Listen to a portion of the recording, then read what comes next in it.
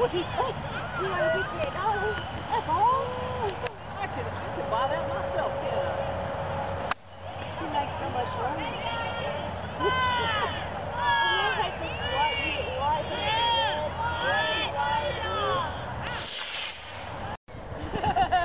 You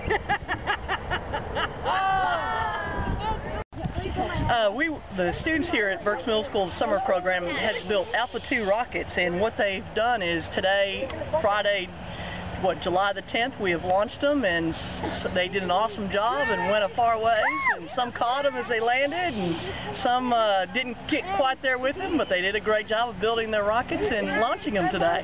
How long did it take you to make them? Um, they've been working on them now for I think about two weeks. And of course, it's not a, it's not where they have to do it daily, but uh, so it's taken a little bit longer. But um, they came in and, and worked on them, painted them, built, completely put them together, packed their parachutes, and and then today we launched them. Where'd it go?